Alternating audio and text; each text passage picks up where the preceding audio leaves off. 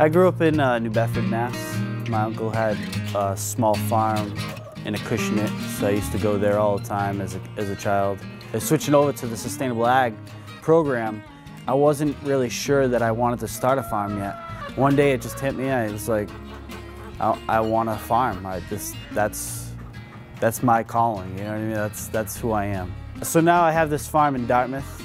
This year, we'll, we should have everything set. We'll be selling at three farmers markets and we sell direct to consumer as well. And we'll be selling chicken, lamb, uh, maybe duck, turkey. We'll have eggs. We have chicken and duck eggs.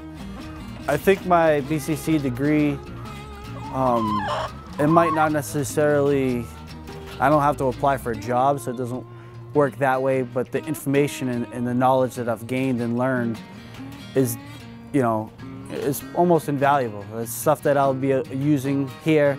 It's stuff that I'll be, you know, telling people in the future.